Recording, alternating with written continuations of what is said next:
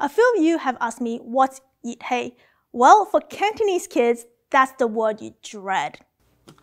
Hey, 搞錯啊,熱氣啊.熱氣.熱氣啊. Bananas too? The direct translation of yit hei is hot air. In Mandarin, the term is shanghuo or the fire is up. These are not the direct meanings of the term. Yit hei is a traditional Chinese medical understanding and is widely used in day-to-day diet and actions. Before we begin, I'm not a doctor, although my parents wanted me to be, so this doesn't substitute professional medical advice. This is just my years of experience of being yelled at. Do you have pimples, itchy throats, bumps in your mouth, or not feeling 100%? It could just mean you have hot air. But it's not that simple. There's more than one type of yit hei, and it's not just foods that will cause it. What? There's more than one type of yit hei? Generally speaking, there is sat fo, shi huo, or real fire, and hui fo, shu huo, or fake fire. If we want to go deeper, the fire can affect your five organs heart, stomach, liver, lungs, and kidneys. But for today's video, let's not go into too much detail. Human beings are composed of yin and yang. Yin is cold and yang is hot. When you have too much yang in your body, it causes an imbalance. That's when you are yit hei. Some people are naturally more fiery and some people are cooler. So the balance for everybody is a little different. So don't take this as absolute advice. For example, Kevin can eat a lot of fried foods, maybe a week's worth, before he feels anything. Whereas me, I will feel it after one meal. So the usual heat that we refer to is a sat fo or real fire, aka yang fire. Good news is that this one is mainly caused by food. Actually, that's also bad news because we have to control our diet. If you have sat fo, this is a time where you would want to reduce your fire and remove the toxins in your body. 清熱解毒,清熱解毒. I'm sure you heard of the word 清熱,清熱 from your parents before.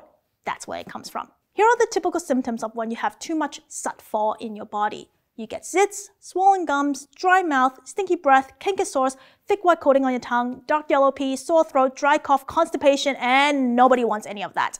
Hui fo, shu huo, or fake fire is also known as yin fire. Fake fire is a little more complicated. It doesn't necessarily mean you have too much in your body. Well, the name implies it's fake, but your yin has gone down too much, so your yang side is overpowering. So let's say this is your ideal balance of yin and yang. When you have too much heat in your body, you eat too much junk food, you have real fire. But when you have too many late nights, stress from work, don't sleep well, or exercise, you hurt your yin levels. Actually, that should be going down.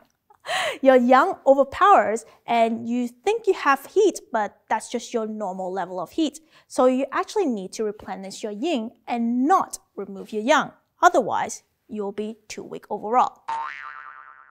Some of the symptoms of fake fire are biting your lips, mouth, and tongue. That's the worst. Dry red tongue with lines, sweating in your sleep, easily irritated and angered, maybe because of the lack of sleep, and some other hard fire symptoms may also occur. Sometimes people with fake fire think that they have too much heat, so they would just take herbal tea or eat cooling foods to try to remove the heat. This would actually make you even weaker and may even cause headaches or diarrhea. At this point, you want something that would 补阳,补阴, to nourish your yin side. For this one, it's important to nurture your heart and soul. In Chinese medicine, mind and body is one, so if you have fake fire, maybe it's time to step back and do some meditation. You can also eat yin nourishing foods like duck, persimmon, goji berries, yogurt, and my favorite, black sesame paste. Now let's look at what foods are considered hot or cold in Chinese medicine. The concept of food is different for Chinese nutrition and Western nutrition. For Western, you may look at how many vitamins a certain food has to determine whether or not it's healthy for you. For Chinese, you may consider foods in hot or cold terms. The obvious culprits of yit hei are spicy foods, fried foods, hot pot, and barbecue. Certain things that you may think are healthy in Western nutrition might be, well, toxic or yit hei for Chinese. For example, fruits like mangoes, durian, cherries, and lychee. There's a saying in Chinese, 一粒荔枝三把火,一粒荔枝三把火. One lychee, three flames go up. It's generally recommended you don't eat more than 10 per day.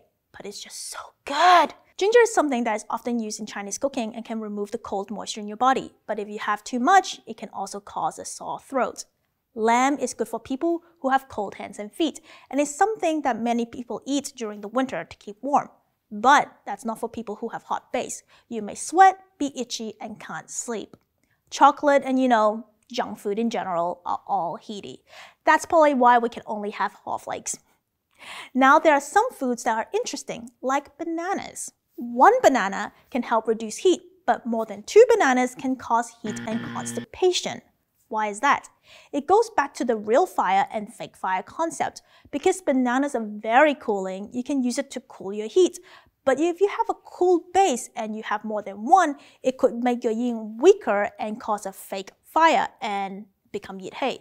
So make sure to understand your body type before you consume too many bananas.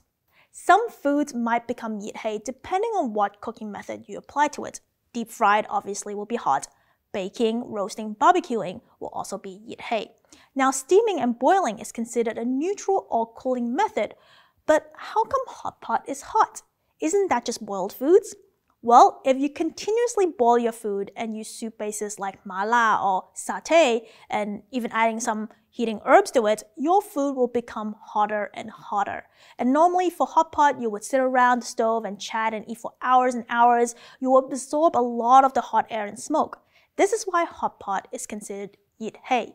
If you just boil your food, stop cooking, and eat it as is, that's actually not yit hei. Now that you know what causes heat, how can you cool down? Besides herbal teas and Chinese medicines, which I would not go into because it's a lot more complex, here are some general cool foods. In the fruits category, we have bananas, as we mentioned before, eat with caution. No. Watermelon, there's a saying, 吃上两块瓜,药物不用抓. Eat two pieces of melon, don't need to grab medicine. Pears, kiwi fruit, melons, papaya, mandarins, and tomatoes are also cooling. Now, do you consider tomatoes a fruit or vegetable? Comment below. For cooling vegetables, we have cucumbers, cabbage, bitter melon, celery, spinach, which is good for stinky breath and constipation, bean sprouts, good for canker sores and cracked lips, radish. That kind of explains why Koreans have so much radish with all their barbecuing and fried chicken. In terms of drinks, you can have chrysanthemum tea, grass jelly, aloe, winter melon tea, mung bean soup. These are all very good things to remove toxins from your body. At the end of the day, it's quite simple. Everything in moderation. Balance out yin and yang. If you're hot, eat cold foods. If you're cold, eat hot foods. Good luck. If you like this video, make sure to hit that like button and tell me, what's your favorite Yit Hei food? Mine is probably instant noodles. If you want me to explain anything else, let me know below. Thanks for watching. I'll see you next time. Okay. Bye.